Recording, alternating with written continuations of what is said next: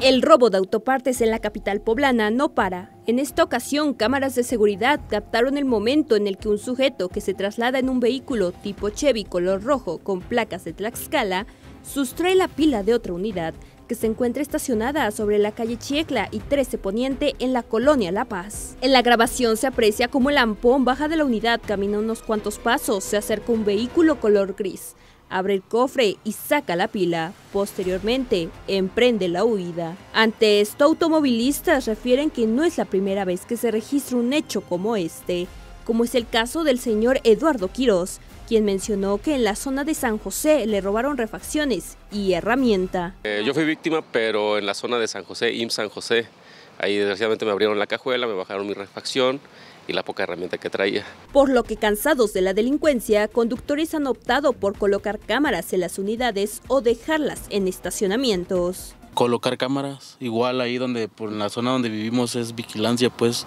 vecinal, pero solamente así pues, pero sí se ha visto mucho la verdad. Recientemente un primo igual le robaron sus cuatro llantas de su vehículo pero sí, a mí no me ha tocado, la verdad. Yo recomiendo a la gente este, ocupar estacionamiento, si en la zona hay estacionamiento, pues ocupar para no pasar por esta situación. Ante esta problemática, colonos y automovilistas piden a las autoridades incrementar la seguridad en la zona.